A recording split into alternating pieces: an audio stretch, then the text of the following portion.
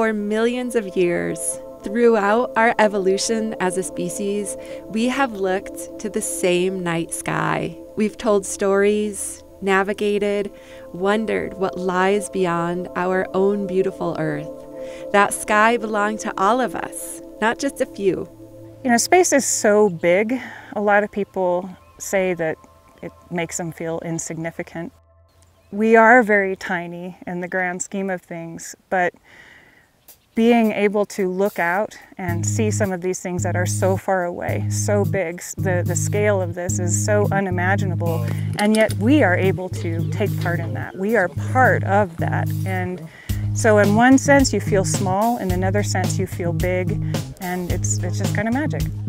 Today, we celebrate dark places, call them dark sky parks, and the National Park Service holds star parties treating the night sky with the same reverence as deep canyons or remote mountaintops. We can look at the Ring Nebula, and the Ring Nebula is exactly what it sounds like. It's a ring floating in the sky. A perf- it's almost a perfect ring. And what it is, is it's a dying star. The day that I discovered the things that I can see through an amateur telescope is a day that I'll remember till the day I die. I saw objects that looked like diamonds scattered on velvet. I saw clouds and I saw galaxies. I saw galaxies that were three or 400 million light years away. And the idea of then showing that to somebody and saying the light from this galaxy left that galaxy long before dinosaurs even walked the earth and seeing their faces just go, whoa, that's just, that's as cool as it gets. You can't beat that. Isabel and Rick from Brownsville, Texas, stopped at the Capulin Star Party while on vacation. We're all stardust. We're all stardust. We're all part of the universe, you know? So it's, it's just, you know, something that, you know, you gaze upon on, on a daily basis if you're out and you wonder, you know. It's just beautiful at night. Absolutely. But over the past century, we've steadily changed our relationship with the sky. In his novel Contact, Carl Sagan wrote about cosmic isolationism, of how, without even noticing, most people cut themselves off from the sky. We learned more about what lies beyond our own world. We've looked deeper into space, but our own sky view, we lit it up concealed so much of what we used to see.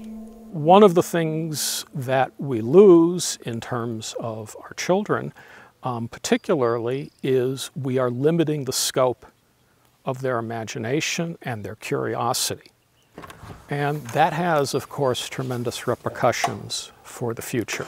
We lose the appreciation that we personally get from looking at the sky.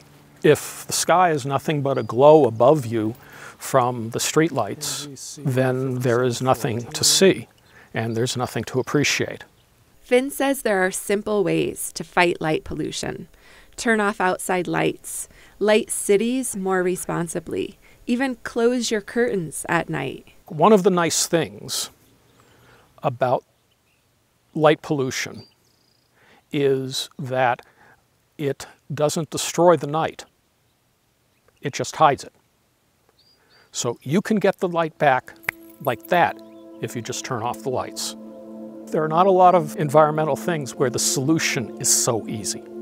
Carl Sagan wrote about how, at the very moment that humans discovered the scale of the universe and found that our most unconstrained fancies were in fact dwarfed by the true dimensions of even the Milky Way galaxy, we took steps that ensured that our descendants would be unable to see the stars at all. But we can change that. We can protect the skies all of our ancestors watched. We can turn out the lights and look up and wonder together. For New Mexico in Focus and Our Land, I'm Laura Paskus.